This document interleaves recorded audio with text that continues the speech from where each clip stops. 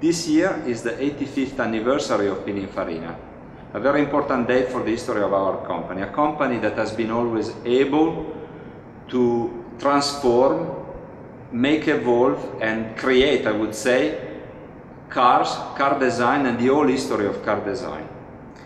Uh, this anniversary comes at a moment in which automotive industry is really questioning a lot about uh, its future with many radical changes to come, starting from the thinking of the autonomous driving car. And so we would like to take this opportunity uh, to collaborate with, uh, with a school like IAAD to uh, have a reflection from students, from the young generation about what it could be, the future of uh, automotive design uh, from uh, taking in consideration the basic value of Pininfarina history, so elegance, purity, uh, sportivity, passion, and trying to apply it to this uh, great opportunity that the progress is giving to us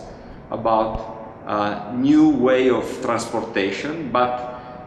not thinking only about the individually autonomous car like a simple object to to be seated on it, but thinking about a way to get back the passion